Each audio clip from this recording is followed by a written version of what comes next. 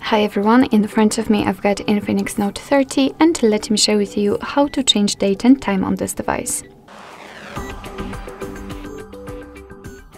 So first of all, let's enter the settings and here scroll down to the very bottom to find system.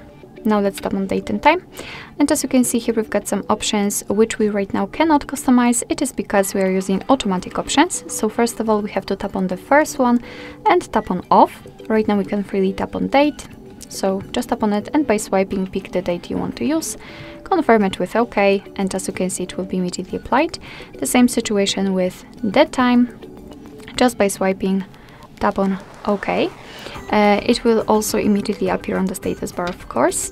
Uh, we can change the time format if you want to, and you can decide whether you want to use 12 hour format, just like now, or 24 hour one, uh, and you can apply it just by tapping on the switcher.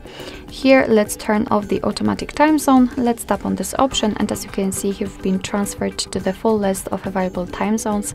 So simply find yours and tap on it. Let me pick this one and as you can see it will be immediately applied. Of course be aware that after changing the time zone the time will also change according to it. Uh, here you can decide whether you want to use the dual clock option, so just tap on it and tap on the switcher and basically it means that your, your device will display two different clocks. The first one will show you the time from the place you're currently in and, uh, and the second one will show you the time from uh, another place um, of your choice. So it's up to you if you want to use it or not.